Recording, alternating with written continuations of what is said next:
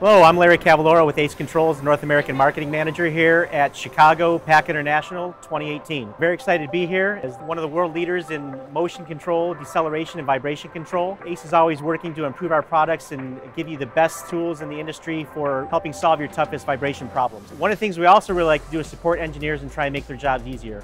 And we do that by creating tools that allow them to go out and size, specify, or select products. New for 2018, we've launched a new gas spring sizing program. It's online, available 24-7. The tool allows you to put in your application information, put in data about what you're trying to do, and then when you calculate the actual program, we will recommend the gas spring size, we will give you mounting instructions, we'll even create a diagram for you as to how to mount and what you can do.